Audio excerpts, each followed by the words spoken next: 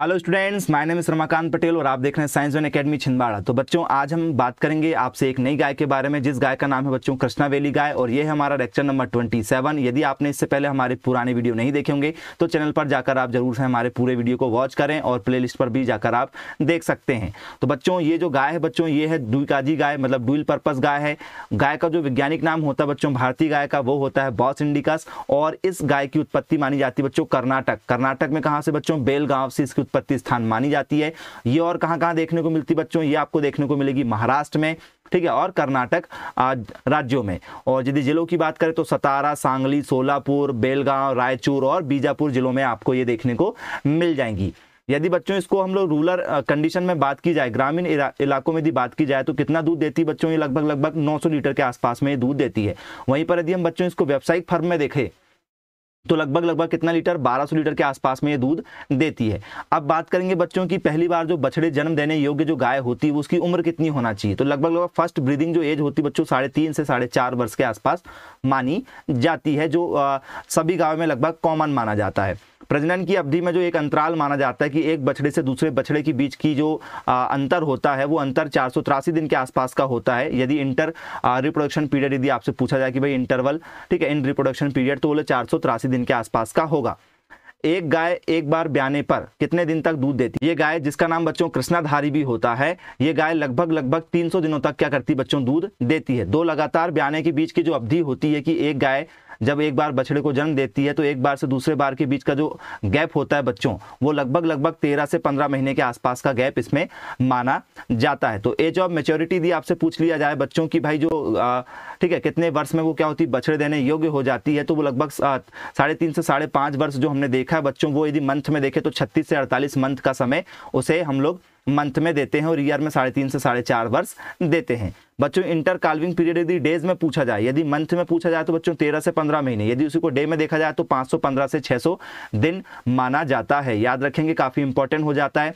Krishna valley की उत्पत्ति स्थान आपको पता है, कर्नाटक, ठीक है, बेलगांव का जो कर्नाटक का ठीक है, जिला है, वो बेलगांव हो गया, रायचूर हो गया, बीजापुर ये ज़िले हो गए, ठीक है, महाराष्ट्र के सतारा सांगली सोलापुर ज़िले में ये देखने को आपको मिल जाएगी। उत्पत्ति स्थान तो कर्नाटक ही होगा।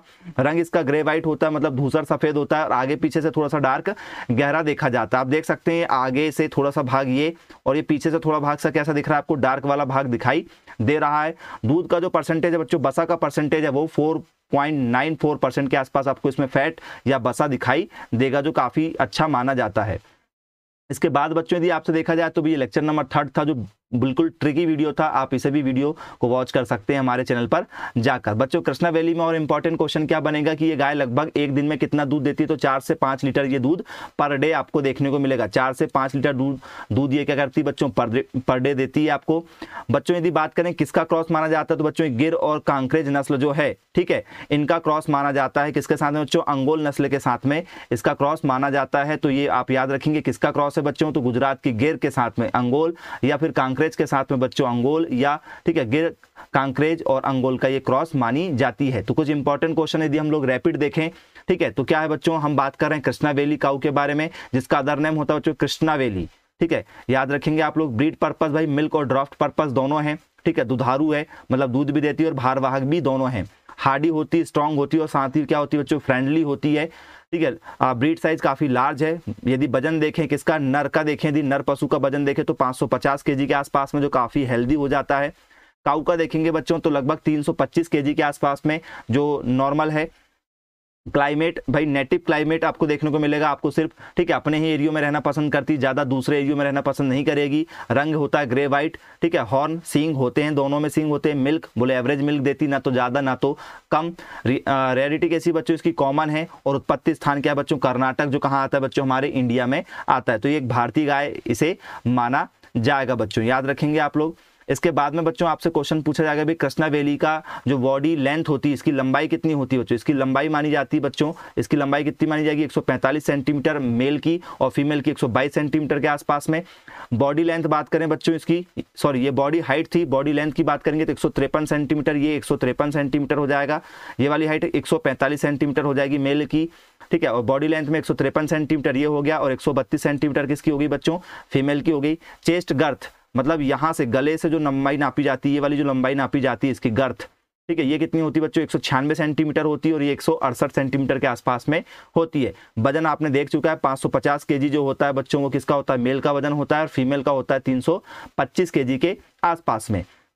बर्थ वेट कितना होता है बच्चों इनका? तो तेईस के जी बर्थ वेट इनका लगभग होता है और फीमेल का जो होता है बाईस के जी के आसपास में। जब भी गाय ठीक है, एक बछड़े को जन्म देती तो उसका वज़न 20 से 23 केजी या 24 केजी के आसपास में होता है। 20 से 23 केजी सफिशिएंट आपका आंसर हो जाएगा। बच्चों, आपसे यदि और बात करें कि इसकी उत्पत्ति स्थान से यदि आपको एक दूसरे तरीके से नदी से क्वेश्चन दिया जाए तो इसकी उत्पत्ति बच्चों कृष्णा, ठीक है, घाट प्रभा और मल प्रभा नदियों के क्षेत्रों से मानी जाती है, जो कर्नाटक में आपको देखने को मिल जाएँगी। क्लियर है बच्चों? तो ओके बच्चों तो ये रहा हमारा आज का वीडियो। मिलते हैं नेक्स्ट वीडियो में, तब तक के लिए thank you thank you for watching this video have nice day